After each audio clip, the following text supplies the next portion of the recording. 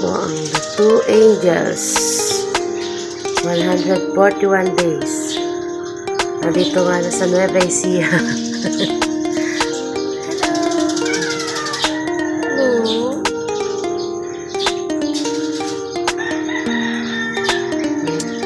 Ay ka na.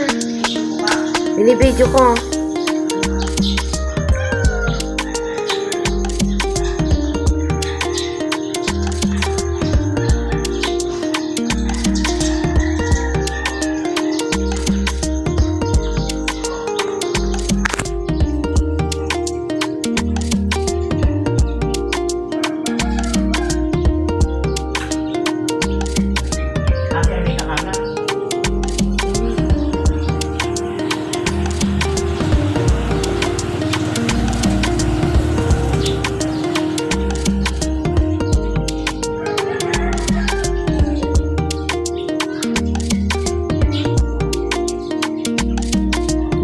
Mga labit dito.